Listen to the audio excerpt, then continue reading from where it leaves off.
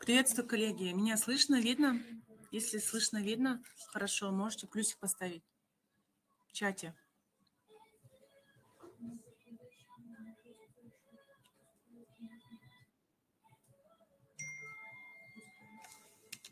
Слышно меня? А, все. Хорошо. Э, можно начать. Я сначала хотела представиться. Меня зовут Камила, и я работаю маркетологом компании Казюнин. Э, я рада сегодня вести данный вебинар, так как это наш первый вебинар для наших азербайджанских агентов. Как было объявлено в рассылках, у нас будет проходить трехдневный вебинар, посвященный нашему уникальному направлению Катар. Сегодняшний вебинар будет проводить представитель визит Катар Антон Мельников. Надеюсь, что наш вебинар будет для вас информативным. Запись вебинара и материала будут отправлены вам также по рассылке. В принципе, можно начинать. Антон, можете начать.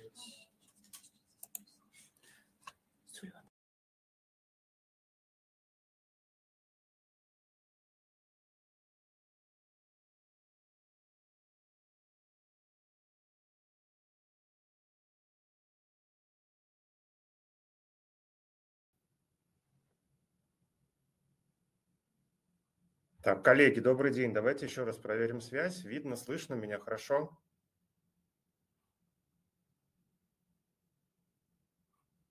Так, отлично. А, так, Камила, мне, наверное, нужна будет ваша помощь еще раз. Напомните, пожалуйста, как вывести презентацию. А я уже помню. Все, нашел.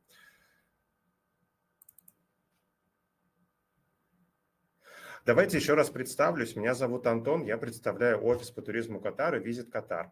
Смотрите, наша организация э, занимается продвижением Катара как туристического, туристического направления.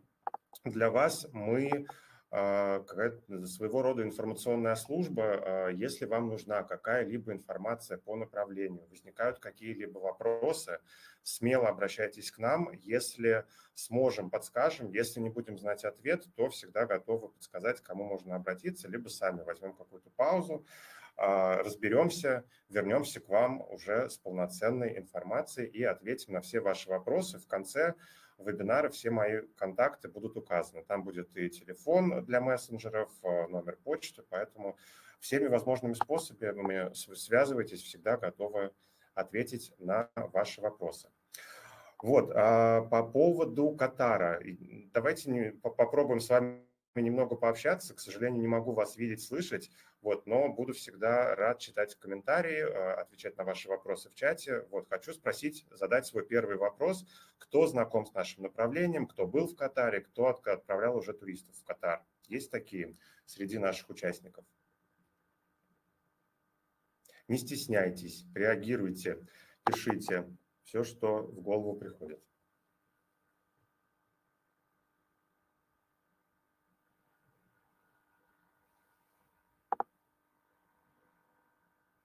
Ладно, возможно, нет.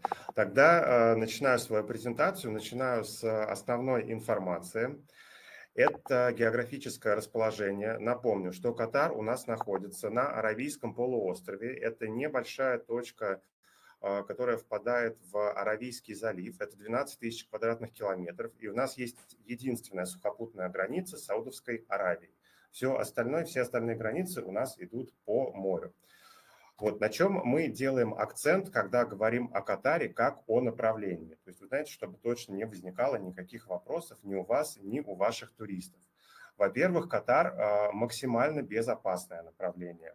И это официально подтвержденный факт, потому что уже на протяжении больше пяти лет мы фигурируем в топе, в списках самых безопасных стран в мире.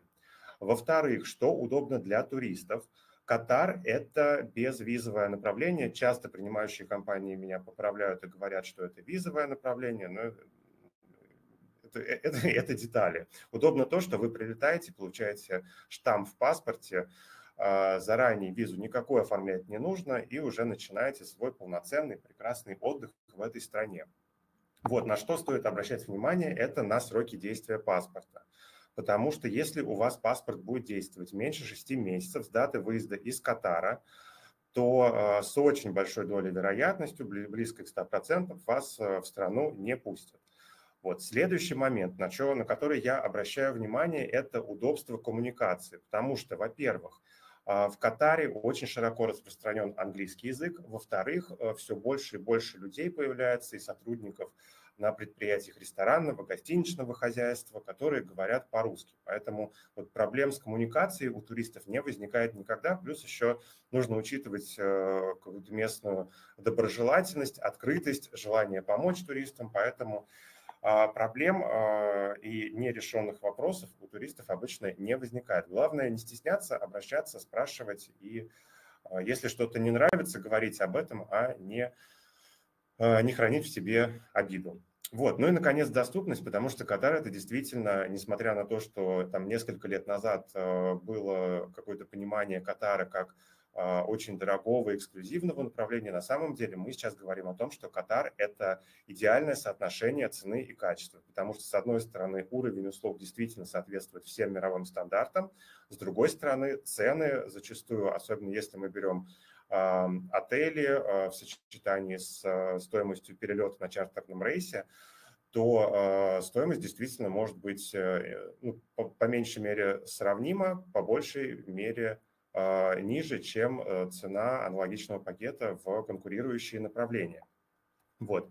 А, расскажу немного о позиционировании Катара. Мы сейчас говорим, что Катар – это действительно направление для полноценного отдыха. И в связи с этим становится понятно, откуда появилась идея запустить чартерные рейсы в эту страну. Потому что, а, смотрите, к проведению чемпионата мира по футболу 2020 2022 году, он действительно дал огромный толчок развитию туристической инфраструктуры. Вот, и сейчас вот эта огромная инфраструктура, она готова, она новая, и она ждет ваших туристов. Давайте по шагам начнем. Вот первое, первое, с чего начинается знакомство с Катаром, это, конечно же, международный аэропорт Хамад. И это просто шедевр, потому что, с одной стороны, аэропорт действительно огромный. Это один из самых больших аэропортов в мире.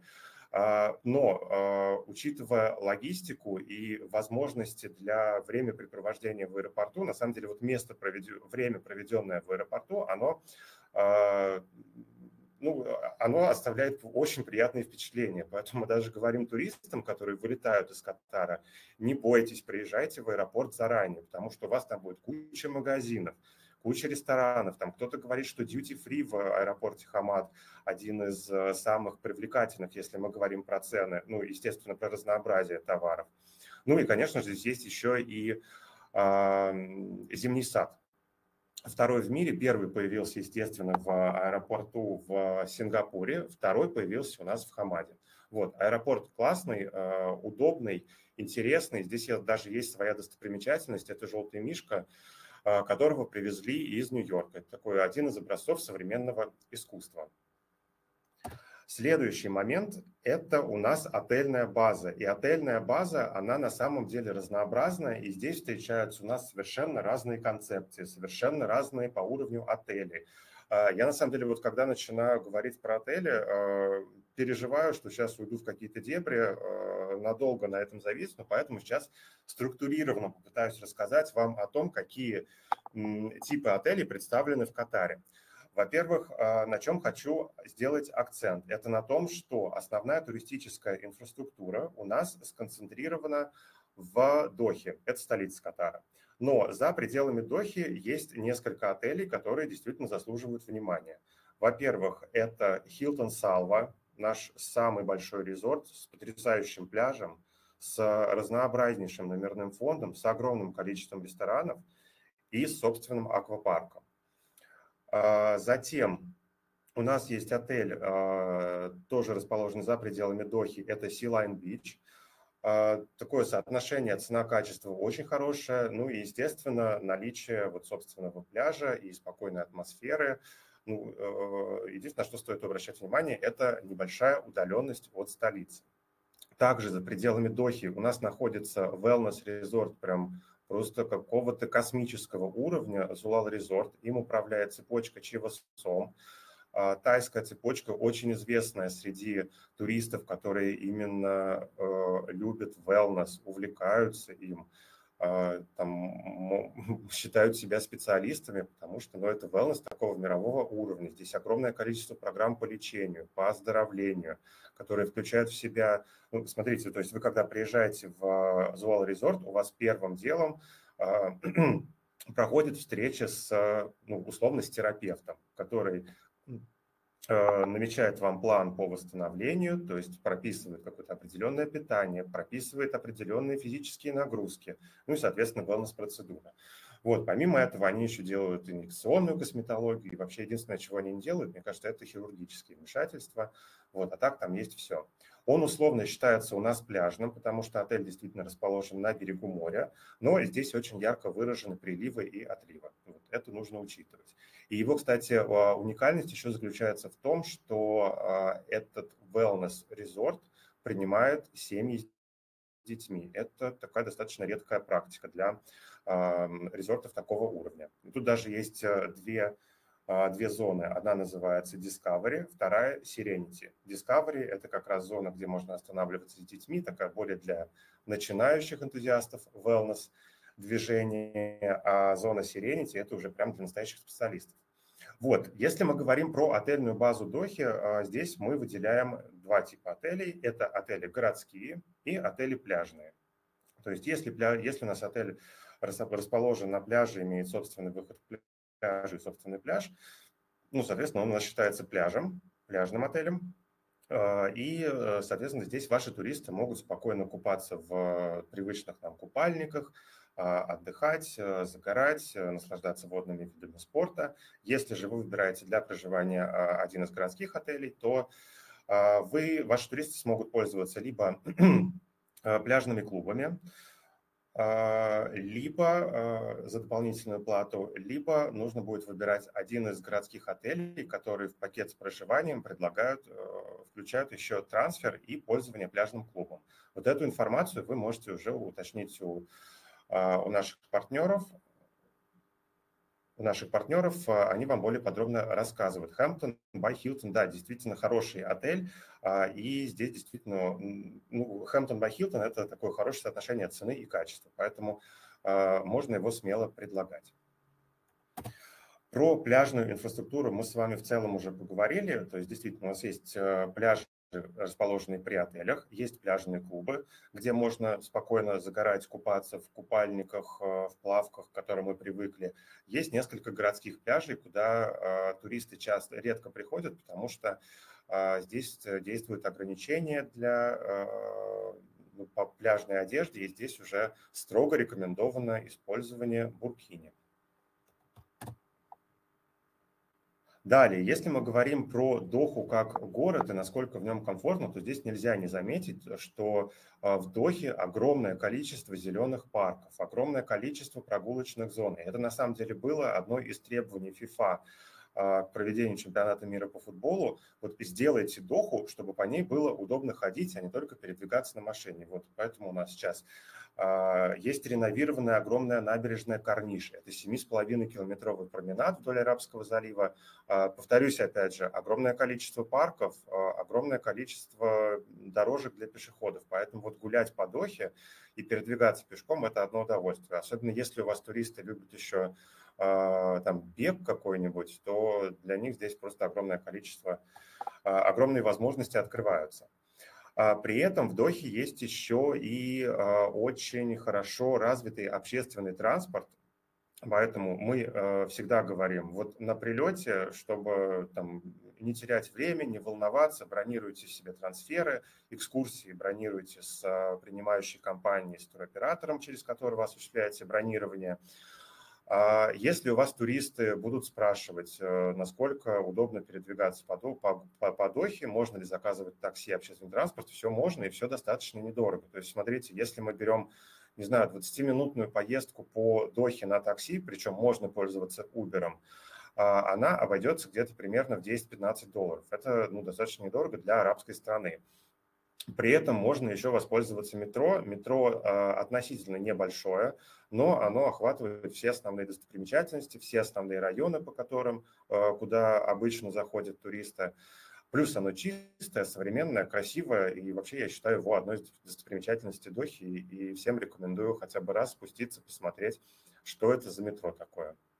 И оно, кстати, недорогое тоже. Проезд на один день обойдется примерно в 2 доллара. По-моему, такая очень привлекательная цена. А, если у вас туристы а, любят вкусно поесть, а, ценители fine dining, такой какой-то супер высокой кухни, очень изысканные, в Катаре для этого тоже есть огромное количество возможностей. Во-первых, действительно есть традиционная арабская кухня, которая в основном представлена ливанской. Очень много вкусных индийских ресторанов. Помимо этого, Э, набирают оборот э, концепция fine dining, то есть Ален Дюкас здесь уже открыл ресторан. А, Нобу есть. А, Жуэль Робюшон э, в новом Four Seasons тоже открыл свои рестораны, а Жуэль Робюшон, это, знаете, вот на минуту у человека 32 мишленовские звезды по всему миру, поэтому уровень и качество, и изысканность еды и блюд, которые он предлагает, они вообще вопросов не вызывают. Вот, если мы с вами будем говорить про стоимость э, питания в Катаре, то в среднем это где-то 15 долларов за обед, не включая напитки. Ну, соответственно, если мы уже берем какие-то настоящие fine dining рестораны, то здесь э, потолок ограничен только фантазиями и возможностями туристов. Вот здесь, кстати, также хотел бы сделать э, ремарку по поводу алкоголя в Катаре. А, Катар – это немного более строгая мусульманская страна по сравнению с Арабскими Эмиратами э, и Эмиратами и с тем же самым Дубаем. То есть э, здесь есть ограничения по ввозу алкоголя в страну, то есть алкоголь в страну ввести нельзя. Его изымают в аэропорту на прилете, но потом возвращают при, возвращении, при обратном вылете. А, но в ресторанах, в барах, в отелях алкоголь присутствует, его купить можно. В магазинах его тоже, кстати, купить нельзя. Кстати, еще нужно обращать внимание на, а, на отели, потому что не все из них предлагают алкоголь своим туристам. Например, есть э, знаменитый отель Banana Island by Anantara. Это, знаете, такой настоящий мальдивский концепт э, в Дохе, то есть отдельно стоящий, отдельно расположенный остров в 20 минутах езды на катере от столицы – вот, на нем э, и в этом отеле алкоголь не предлагается. Также есть э, отель Чети, который не предлагает алкоголь, ну и ряд других. Также эту информацию можно всегда запросить у принимающей компании. А, по ресторанам мы с вами поговорили, и еще один момент, на который мы обращаем внимание, это шопинг. Шопинг в Катаре хороший очень. И здесь можно выделить два направления. Во-первых, это традиционный арабский рынок Суквакив, куда мы приходим, можем купить э, традиционные сувениры, огромный выбор специй, э, каких-то вкусностей. Вот. Если нужно что-то традиционное с арабским колоритом, пожалуйста, приходим на базар. Если туристы э, любят вот такой европейский шопинг, любят бренды, то к их услугам огромное количество э, шопинг-центров. Вот назову несколько. Галерею Лафайет, Пляс Фандом, Прентан, а, и здесь на самом деле можно а, Здесь на самом деле можно уже найти вот все возможные бренды, представленные во всем мире, начиная от люксовых и заканчивая уже какими-то более масс-маркет позициями. А, по поводу цен. Я не буду вам говорить, что шопинг в Катаре – это рай низких цен. Но на что стоит обратить внимание, это на сезон распродаж, во-первых. Это у нас январь и июнь. Во-вторых, э, всегда бренды в течение года, вне зависимости э, от сезона распродаж, эм, устраивают свои какие-то точечные сейлы. То есть э, вот в сентябре с принимающей компанией общался с, с представителем. Она мне, девочка мне рассказывала, что бренд Super Dry вот сейчас распродает свои полы, которые обычно стоят 250 катарских реалов, вот в момент э, вот этой распродажи они стоили 50. По-моему, выгодно очевидно, поэтому а, что рекомендую? Вне зависимости от э, времени, когда ваши туристы едут в Катар, всегда э, ориентируйте, чтобы вот хотя бы один день они заложили на шопинг. Потому что шопинг разнообразный, интересный, а, всегда можно найти что-то по выгодным ценам. И еще один, кстати, огромный плюс Катара – это то, что направление еще не настолько популярно среди туристов, поэтому очередей нет, и модельный и размерный ряд у нас присутствует э, даже в сезоны распродаж. И такого ажиотажа э, с драками за какую-то вещь у нас не наблюдается никогда. А, был вопрос, э, можно индивидуальный трансфер заказать. Конечно же, всегда трансфер индивидуальный можно заказать. Э, принимающая компания, туроператор вам помогут в этом вопросе. Причем э, трансферы можно заказывать совершенно разного уровня, от каких-то бюджетных машин до такого прям люкс-сегмента. Вот, а, по поводу шопинга поговорили.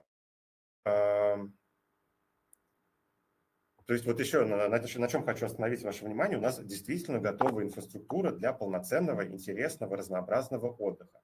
Вот, и чем же на самом деле будет интересен отдых, давайте поговорим дальше. То есть сейчас мы уже с вами перемещаемся а, на то, какие развлечения Катар готовит для наших туристов. И они здесь на любой вкус. То есть есть и активный отдых, огромное количество музеев, интересных, ярких, красивых – можно просто погулять по городу. Ну и, конечно же, есть огромные возможности для отдыха с детьми.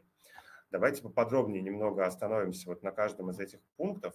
Но начать я опять я хочу с Суквакиф, о котором уже упоминал, потому что э, когда у меня спрашивают, какую достопримечательность нужно посетить в Катаре, чтобы ощутить его дух, я всегда говорю, что первым делом нужно отправиться на сук Вагив, потому что это настоящий арабский рынок. Ему уже более 100 лет, и особенность его заключается в том, что сюда приходят даже сами, сами местные жители. Это вот не просто, знаете, какая-то туристическая достопримечательность, возникшая из ниоткуда. Это место с традицией, с историей, вот, и со своим колоритом. Особенно э, здорово здесь можно погулять э, в вечернее время, когда вот как раз и местные жители приходят, чтобы посидеть в кафе, пообщаться за покупками. Ну и туристы, соответственно, приходят, ну и плюс включается красивая подсветка, и место действительно э, колоритное. Вот, помимо там посидеть в кафе, здесь на самом деле есть чем заняться, то есть можно сходить в одну из галерей современного искусства. Здесь представлены местные артисты. Э, можно купить специи, можно купить ремесленные товары. Здесь есть э, лавка ловца, ловца жемчуга, потому что Катар – а, как и другие страны на Ближнем Востоке, в какой-то период, это вот примерно с конца XIX века по середину XX века, вот э, основной, э, основным источником дохода для них был именно жемчуг. Вот, и сейчас на Суквакив сохранилась лавка ловца жемчуга, которого вы видите на одной из фотографий. Этот дядечка действительно занимался когда-то этим помыслом. Вот, и внутри вы, помимо того, что сможете увидеть и купить а, изделия из жемчуга, вы сможете познакомиться, как вообще все это было организовано, какие приспособления они использовали, ну и посмотреть на фотографии этого человека в более молодом и более спортивном а, состоянии. А, ну и вот большой палец, который виден на красной фотографии, это один, то, еще один экспонат современного искусства, которого на самом деле в Катаре, в Дохе, в музеях и на улицах – очень много, а, потому что Катар действительно вот сейчас а, взял курс на то, чтобы занять одну из лидирующих, одну из лидирующих позиций среди а, стран и позиционирует себя как вот одна из столиц современного искусства в целом. Мы дальше с вами переходим уже к музеям, остановлюсь на двух, наверное, самых важных, которые обязательно нужно посетить. А, это Национальный музей Катара, он расположен на набережной Карниш.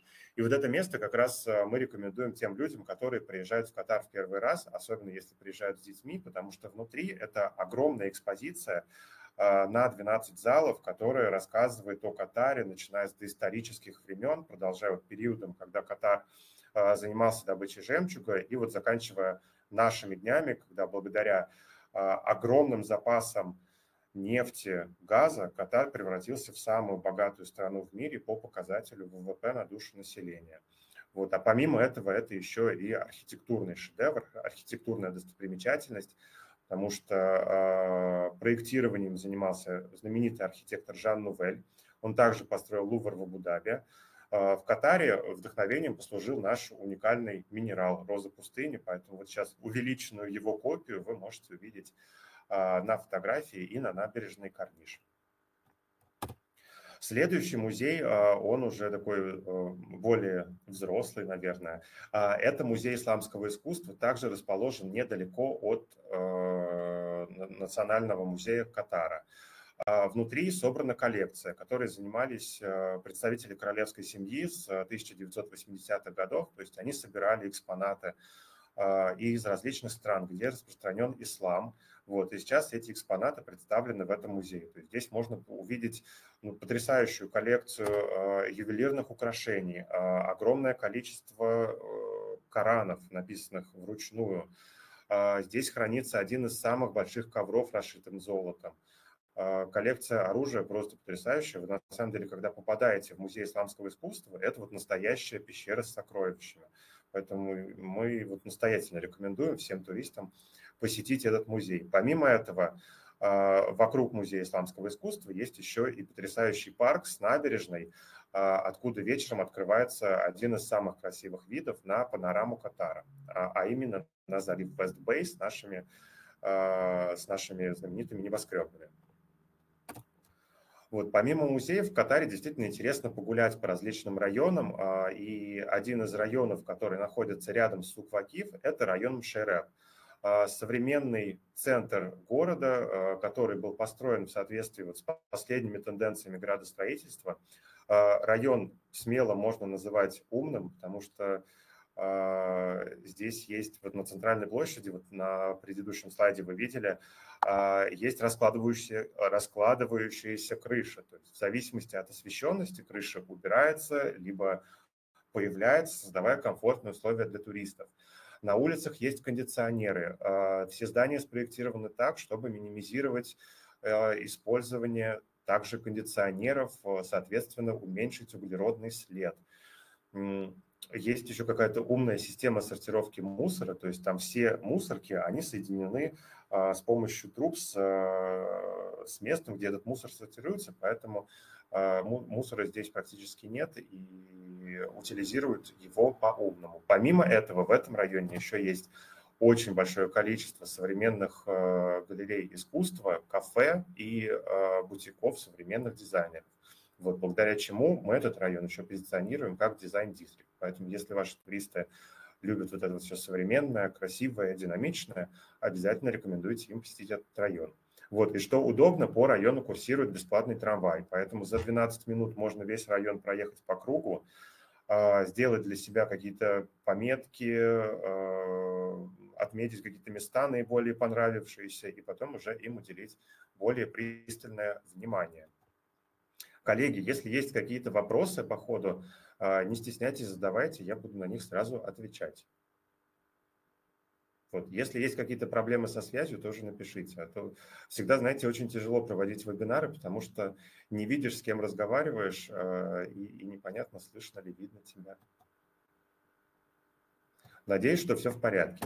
Давайте гулять дальше. И дальше у нас как раз идет район Вестбэй. Это, вы знаете, с одной стороны, это наш деловой и коммерческий центр с огромным количеством небоскребов современных, с очень красивой архитектурой. С другой стороны, здесь на первой ли, береговой линии расположены, а, расположено самое большое количество наших пляжных отелей. То есть здесь у нас есть и вообще первый брендовый отель, появившийся в Катаре, а, Шератон. Вы видите его на картинке справа, это такая усеченная пирамида. Его отреновировали недавно, но на что хочется обратить внимание и сказать огромное спасибо. А, в отеле сохранили вот этот вот дух 80-х годов. Это, конечно, на любителя, но выглядит потрясающе, интересно. А, а помимо этого в Шаратоне еще есть ряд интересных и вкусных ресторанов. Это индийский ресторан на первом этаже и ливанский ресторан на крыше. Вот, здесь также у нас расположен Сент Реджис Доха с одним из самых больших бассейнов. Ну, я думаю, про бренд Сент Реджис много рассказывать не нужно. Это такой, знаете, а, помпезный, интеллигентный и э, очень интересный бренд со своей историей, со своими традициями. Он прям каким-то особняком всегда стоит. Вот для меня лично а, среди вообще всех отелей во всем мире. Ну и плюс у него есть свой пляж, а, свой бассейн и потрясающий спа. Вот, а, давайте двигаться дальше. То есть, смотрите, если у вас туристы останавливаются в районе Вест-Бэй, у них прям, а, с одной стороны, под рукой все возможности для пляжного отдыха, с другой стороны, ну, рукой подать до всей городской инфраструктуры с шопинг-молами, с ресторанами, с барами и вот с, с, с современным образом жизни. Передвигаемся дальше, и здесь у нас уже культурный кластер Катара Cultural Village – Здесь это, знаете, место для любителей искусства, для любителей концертов, потому что здесь у нас находится амфитеатр, в котором проходят выступления звезд мировой величины. Здесь у нас есть драматический театр, здесь у нас есть голубая мечеть, золотая мечеть, очень много кафе, ресторанов. А, проходят различные воркшопы. Вот, например, э, недавно проходили воркшопы по арабской каллиграфии. То есть э, там любой желающий мог забронировать а, себе место на этом воркшопе и вернуться домой уже с э, сувениром, сделанным своими руками. А, единственное, что стоит обращать внимание, это на то, что воркшопы проходят либо на английском, либо на русском языках.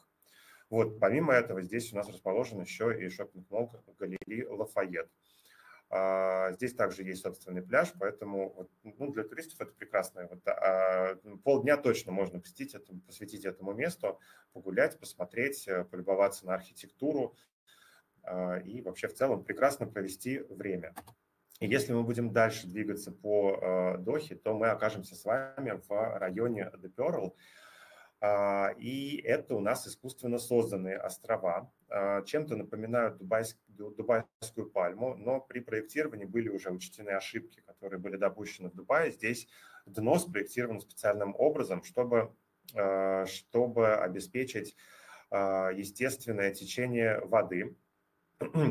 Поэтому здесь у вас никогда не возникнет ощущение, что вы находитесь э, среди какого-то образа озера, а, всегда э, вода перемешивается, циркулирует, вот, создавая, создавая такую приятную атмосферу. Вот. А сам, сами острова были спроектированы по образу и подобию европейских приморских городов. Это Венеция и Андалусия. Я думаю, вы прекрасно видите, что действительно образ Венеции подчеркнут. Здесь есть своя марина с яхтами, а, есть набережная прогулочная, есть э, рестораны, кафе, поэтому а, сюда можно смело приезжать, гулять, наслаждаться жизнью. И также можно посетить один из шопинг-моллов. Здесь у нас расположен Villaggio Mall, тоже напоминающий Венецию. В нем даже есть проложенный канал, по которому можно покататься на гондоле.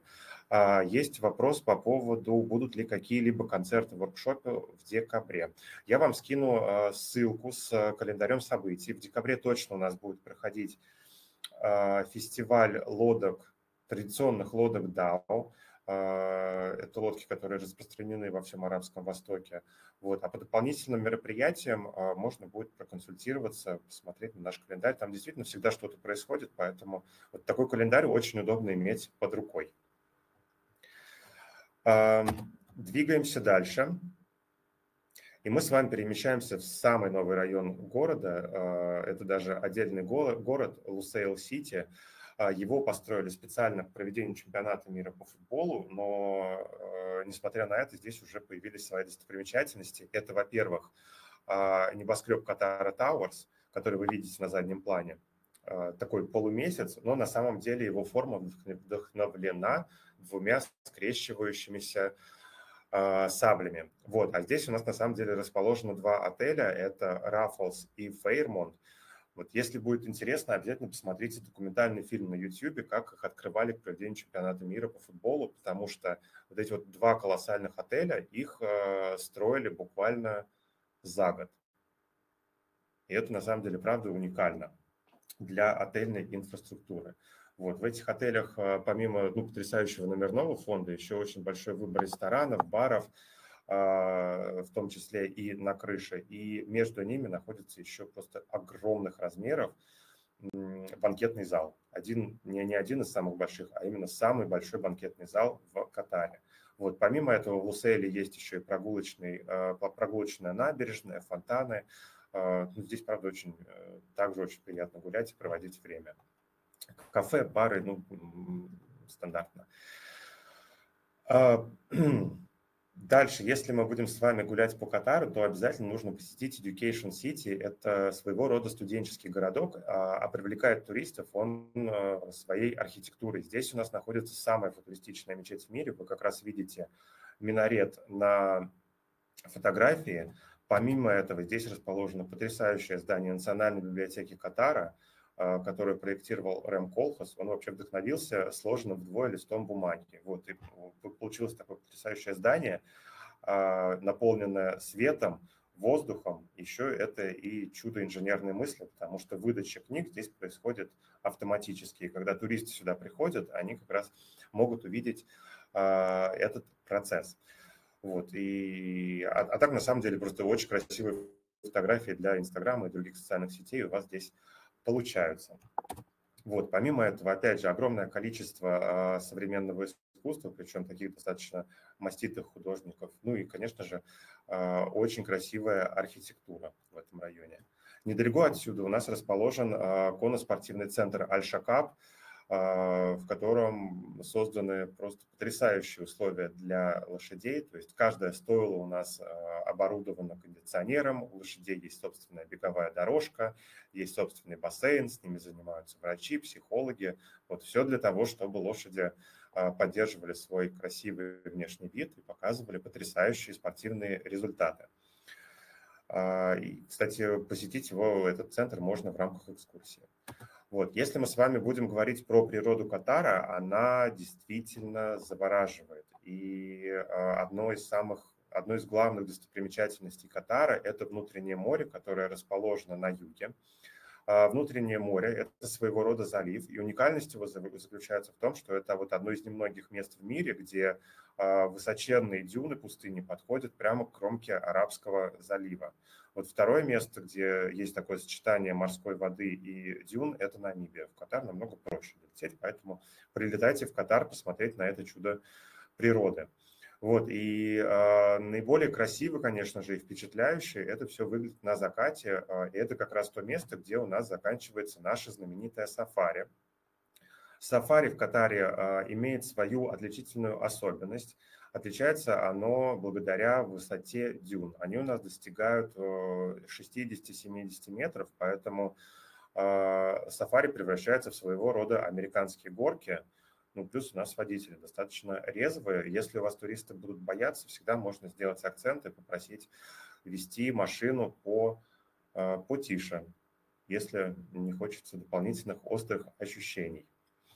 Вот, помимо этого, когда а, проводятся сафари, туристы также имеют возможность остановиться в одном из кемпингов на берегу, чтобы отдохнуть, покупаться, позагорать, ну и вообще насладиться окружающими пейзажами. А, на севере Катара у нас находятся мангровые леса. Это уникальная экосистема. А, сюда прилетают перелетные птицы во время миграции с севера на юг. Здесь вы можете увидеть розовых фламинго. Я вот, если честно, я небольшой специалист в орнитологии, я не, не буду сейчас изображать из себя всезнайку и перечислять другие виды птиц. На самом деле встречаются какие-то очень редкие представители, поэтому если у вас туристы любят покататься на каяке, любят природу, любят понаблюдать за пернатами, то сюда можно смело рекомендовать экскурсию. Вот, помимо этого, если мы говорим про природный и животный мир Катара, я не буду говорить, что он какой-то супер разнообразный, но у нас есть свои уникальные представители. Во-первых, в летние месяцы, это где-то середины мая до сентября, а, на север Катара приплывает огромная популяция китовых акул. Это считается одна из самых крупных популяций в мире. Вот, и, и к месту, где они собираются, организовывается экскурсия. Это порядка полутора часов от Дохи на катере. А, нырять с ними нельзя, но с лодки их можно будет увидеть, как вот эти огромные рыбины а, перемещаются, плавают друг с другом. Они совершенно безопасные, такие огромные добряки. А, помимо этого, у нас есть небольшая популяция, насчитывающая 600 особей. Это морские слоны или а, у них есть еще очень милое название дигуни. Вот, у нас есть ориксы, это один из символов Катара. Ну и, конечно же, кони, верблюды, соколы, а, как и для любой арабской страны. Для Катара они играют огромное значение и являются таким подтверждением статуса владельца. Давайте с вами немного поговорим еще об активных видах отдыха, потому что в Катаре сейчас а, набирает популярность, набирает обороты такой вид э, активности, как кайтсерфинг. А, сейчас за пределами Дохи на севере в прошлом году открылся Фувайрит Бич – это кайт-спот, который считается вообще в мире одним из самых лучших спотов для кайтсерфинга, благодаря тому, что здесь, с одной стороны, вода очень мелкая, с другой стороны, присутствует ветер. То есть начиная с середины сентября и до мая здесь прям просто потрясающие условия для кайтсерфинга. И сюда на самом деле можно отправлять туристов, которые только начинают еще открывать для себя это развлечение, и те, кто уже хотят совершенствоваться, потому что здесь огромное количество инструкторов, инструкторов, э, они приезжают со всего мира, поэтому вот, если э, туристы хотят открыть для себя кайтсерфинг, то их можно смело отправлять в Катар. Если туристы интересуются этим видом спорта, э, занимаются им, хотят получить какие-то новые навыки, то тоже можно смело отправлять их в Катар. Помимо этого, естественно, есть водные лыжи, падал, э, водные лыжи, бананы, вот все, к чему мы привыкли, и все развлечения, которые э, так любят наши туристы. Эм, по поводу развлечений с детьми. А, если мы будем с вами говорить об аквапарке, то сейчас единственный аквапарк в Катаре находится в отеле Hilton Salva. Пользование а, для гостей отеля бесплатное, все остальные могут приходить сюда за а, дополнительную плату. И он, на самом деле аквапарк считается одним из самых крупных в мире по количеству горок, и здесь на самом деле даже есть такой экзотический вид отдыха, про который я раньше не слышал, это каньонинг, то есть э, что это значит – группа туристов собирается и вместе с гидом а, перемещаются по искусственно созданным скалам и ныряют в искусственно созданные озера. На самом деле такое интересное а, и необычное развлечение, на мой взгляд. Вот, у нас а, сейчас уже построен и практически вот готов открыться и принять туристов новый аквапарк, который будет располагаться в отеле «Хилтон», Китай, не Хилтон, Риксос Китайфан Айленд, и этот отель уже вошел в книгу рекордов Гиннесса, не отель, этот аквапарк уже вошел в книгу рекордов Гиннесса как аквапарк с самой высокой горкой в мире. И на самом деле, э, что интересно, вдохновением для оформления нового аквапарка в Риксосе послужила нефть и газодобыча, и мы вот с нетерпением ждем, когда же наконец он откроет, и туристы смогут увидеть, э, как воплотили эту идею эм, строители аквапарка в жизнь. А, также есть э, огромное, ну не огромное количество, у нас есть несколько тематических парков. Это, во-первых, крытый парк Квест, то есть вне зависимости от природных э, погодных условий, там жара, либо пошел дождь, ваши туристы всегда могут а, покататься на аттракционах. И вот как раз в Квесте находится одна из самых высоких а, американских горок в мире, если мы берем именно закрытые парки. Вот. Также есть э, тематический парк Angry Birds, Birds – и есть э, Луна парк, расположенный на острове Альмаха. Это такая сезонная активность, который э, Луна парк открывается в начале, в середине октября и а, продолжает функционировать до начала мая. То есть вот весь наш высокий сезон а, ваши туристы могут э, прийти сюда, покататься на аттракционах. Помимо этого здесь еще есть несколько интересных ресторанов.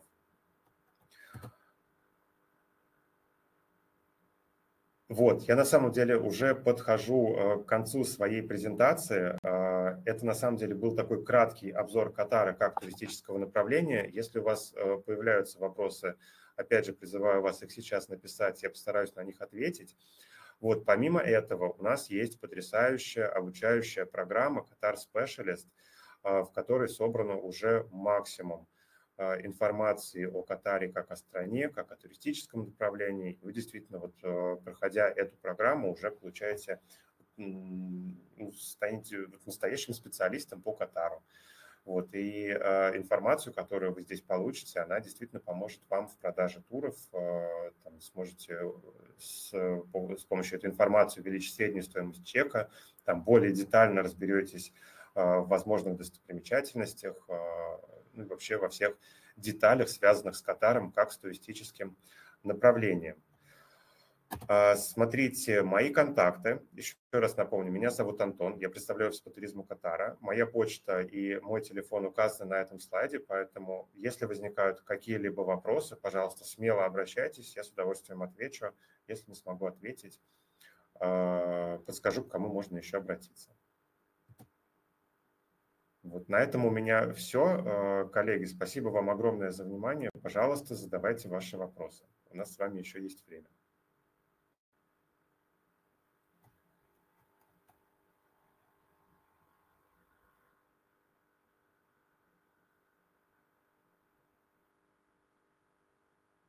Вопросов как будто бы нет.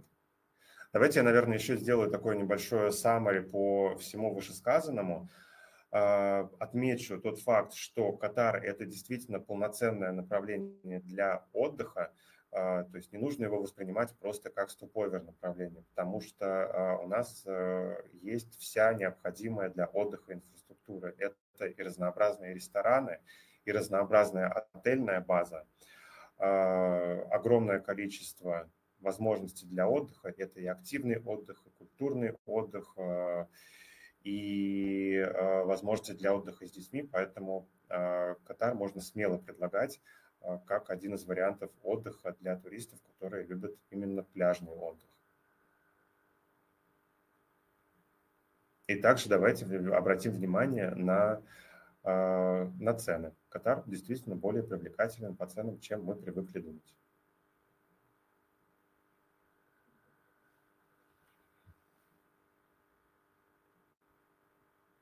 Коллеги, если есть какие-то вопросы, с удовольствием отвечу. Не стесняйтесь.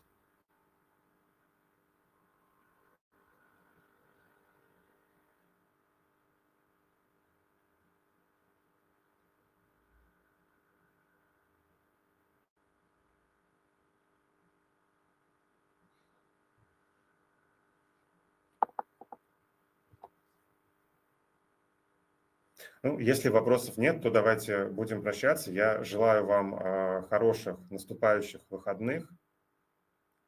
Вот. Смотрите, э, что можно как календарь. Давайте...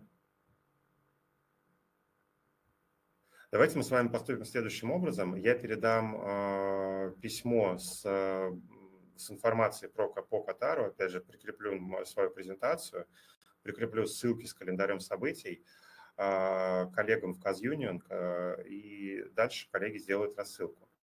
Что насчет Нового года? В Катаре Новый год отмечается. А,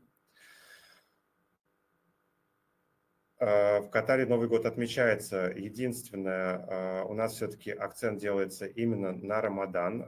Отели сейчас готовят программы на Новый год, и в ближайшее время коллеги из Казюнион и Рустар поделятся ими с вами.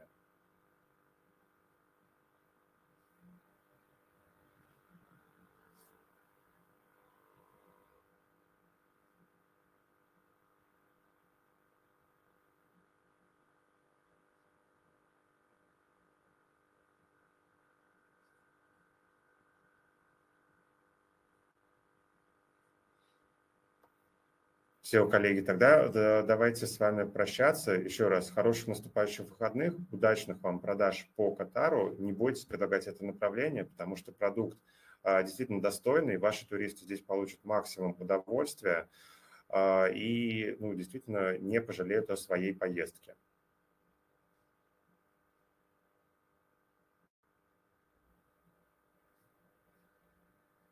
Все, спасибо вам большое. Всего доброго.